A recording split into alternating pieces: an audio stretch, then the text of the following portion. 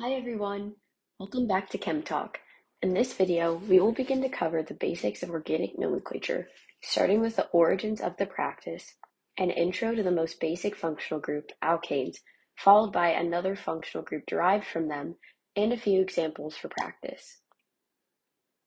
Organic nomenclature, or the naming of organic molecules, is vital in distinguishing unique molecules from one another and determining constitutional isomers.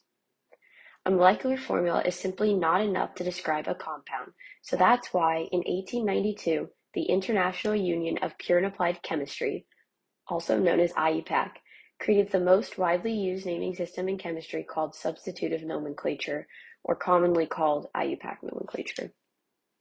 Learning IUPAC nomenclature and all of the rules within it can seem daunting at first, but we will try to unpack them in a way that makes it easier to comprehend. Substitutive or IUPAC nomenclature stems from the naming of alkanes, which are compounds that contain only carbon atoms single bonded to hydrogen atoms. Understanding the ins and outs of alkane nomenclature first will help make other naming processes seem much simpler. Again, this may seem like a different language, but with time, nomenclature will become second nature. Firstly, you should determine if you are asked to name an unbranched or branched alkane when given an alkane nomenclature problem. An unbranched alkane is the simplest to name. Just count the number of carbons within the chain and add the suffix "ane". The number of carbons in the unbranched alkane will correspond with a certain root, as shown in the sequence below. A one-carbon alkane is called methane, two carbons is ethane, Three carbons is propane, four is butane, and the rest are displayed in the table. The basis of all organic chemistry nomenclature comes from these names. For branched alkanes, a branched alkane, like the one I have on the right, contains branch-like substituents, groups that are bonded to a longer principal or parent chain. Alkyl groups are a type of substituent. They are essentially an alkane with one hydrogen removed and are named with the same prefixes as their alkane counterparts, just with an added YL suffix. A methyl group has one carbon and three hydrogens. An ethyl group has two carbons and five hydrogens, and so forth. Other common alkyl groups you should be able to recognize are, which I have highlighted in red, an isopropyl group, a secondary butyl or sec-butyl group, an isobutyl group, and a tertiary or tert butyl group. This is not an exhaustive list, of course, but these groups are frequently seen in future organic chemistry topics, so it's important to be able to identify them. Back to branched alkanes. In order to name a branched alkane, you should first determine what the principal chain is. A principal chain is the longest continuous chain of carbon atoms in the alkane. They are named by the number of carbons that are within them in the same sequence as was shown for unbranched alkanes, such as methane, ethane, propane, etc. Next, you should number the carbons in the principal chain. The direction in which you number the chain is very important though. You have to number the principal chain in a way that results in the alkyl groups or branches being bound to the carbons with the smallest possible numbers. The position of the alkyl groups or the locant on the principal chain is denoted by numerical prefixes. Positions of 2, 3, and 4 would take priority over positions of 4, 5, and 6, for instance. The more substituents on the principal chain, the better. If you can distinguish two options that yield parent chains with the same number of carbons, then the parent chain with the most substituents takes priority. Also, if you can distinguish two parent chains with the same number of carbons and the same number of substituents, you should choose the parent chain which gives the substituents the lowest possible positions. Next, if two methyl groups or two alkyl groups are on the parent chain, this is denoted by the prefix di in front of the alkyl name, which will be in front of the parent chain name. Three methyl groups would be trimethyl, four would be tetramethyl and so forth. One methyl substituent is written as methyl. A prefix is not necessary in this case. The locants of multiple identical groups are also listed with commas separating the numbers. Alphabetical order is vital. However, you should ignore the prefix in front of the substituent name. For instance, if you have a tert-butyl group, use butyl to alphabetize. Substituents should be listed in alphabetical order. Bringing all of that together, you can now name a branched alkane. Let's try to name this branched alkane. For this example, or any future ones in this video, feel free to work alongside of me or pause the video to try it out on your own. Step 1. Let's find the principal or parent chain and determine the substituents. The longest continuous chain of carbon atoms in this molecule is 7, meaning the root name would be heptane. The substituents that can be seen here are a tert-butyl and two methyl groups. Step 2. Number the principal chain in a way that the substituents have the smallest number or locant. We can number this molecule either left to right or right to left. Numbering the heptane molecule left to right will result in the tert-butyl group having a position of 4, the first methyl group a position of 5, and the second methyl group a position of 6. Numbering the molecule from right to left will mean the first methyl group has a position of 2, the second a position of 3, and the tert-butyl group is still at 4. Because positions 2 and 3 are lower than positions 5 and 6, the right to left numbering system will be favored. Finally, you should make sure that tert-butyl is listed first because of alphabetization. B comes before M. Altogether, the full name for this molecule would be 4-tert-butyl 2,3-dimethylheptane.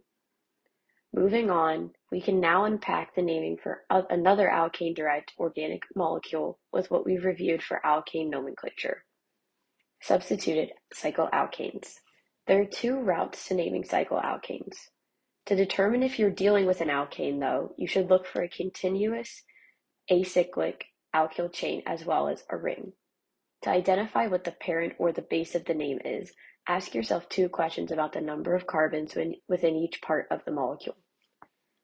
1. Is the ring size larger than the continuous alkyl chain? If so, then the ring is the parent or base of the name, and the alkyl chain will be counted as a substituent to the ring and named accordingly.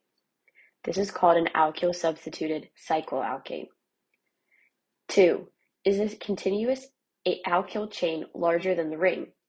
If so, then treat this like a branched alkane problem where the substituent to the parent alkane is a ring otherwise known as a cycloalkyl substituent, and name it accordingly. This is a cycloalkyl substituted alkane. Cycloalkane names are given based on the number of carbons in the ring. You just add the prefix cyclo to the corresponding acyclic alkane name. A three carbon ring would be called cyclopropane, a four carbon ring would be called cyclobutane, five cyclopentane, six cyclohexane, etc. Cycloalkyl substituents are named the same way that alkyl substituents are. Take the analogous cycloalkane and drop the "ane" suffix, adding a YL. Again, it's important to number the parent ring or the alkane accordingly so that the substituents have the smallest locants possible. For an alkyl substituted ring, you must give the position of each substituent if there is more than one. However, if only one is present, it is unnecessary to give a locant because the position is ambiguous. In the first example on the left, the ring is larger than both acyclic alkyl chains. There are six carbons in the ring and two carbons in this ethyl group, one in the methyl group. Therefore, the ring is the parent. A six-carbon ring corresponds with the name cyclohexane, so this will be the base of the molecule's name. Now, Numbering the ring to give locants to the substituents yields two options. You could either number the ring clockwise, starting at the ethyl group, or number the ring going counterclockwise, starting at the methyl group. Because of alphabetization, ethyl will receive the lower number rather than the methyl, because in each case, both numbering systems will give rise to locants of 1 and 2. So this name of the molecule would be 1-ethyl 2-methyl cyclohexane. Lastly, the example on the right. You can see that there is a ring as well as an alkyl chain. There are seven carbon atoms within the chain and only four within the ring. This would therefore be a cycloalkyl substituted alkane, with the root of the name being heptane with a cyclobutyl substituent.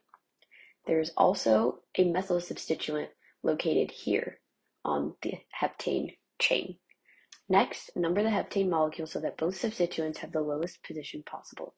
If you number left to right, the cyclobutyl group has a position of 1 and the methyl group has a position of 4. Numbering right to left would leave the methyl group at position 4 with the cyclobutyl group at position 7. Because 1 is less than 7, the left to right numbering is preferred in this case. The name for this molecule would be 1-cyclobutyl 4-methylheptane. To wrap everything up, let's summarize what we learned in the video. IUPAC nomenclature was designed to help us distinguish between different molecules through naming. Here are some key rules to keep in mind when naming alkanes and cycloalkanes. 1. Find the principal chain for all molecules to determine the root of the name. For cycloalkanes, the parent may be the ring or it may be the acyclic alkyl chain. You must count the number of carbons within each to determine what is the case. Two, identify the substituents present. It's much easier to do this if you have them memorized, although memorization will come with practice and time. Three, number the parent chain so that the substituents have the lowest possible number, otherwise known as the position or locant on the chain. Four, Substituents of the same kind, such as two alkyl substituents, should be prioritized by alphabetical order, but make sure that you do not include the prefix when you're making this distinguishment. Like in the example of tert-butyl, you only use the butyl to make the distinguishment of alphabetical order. I hope this video was helpful in introducing you to IUPAC nomenclature. For more fun, more alkane nomenclature practice and other chemistry content, visit www.chemistrytalk.org. Thank you.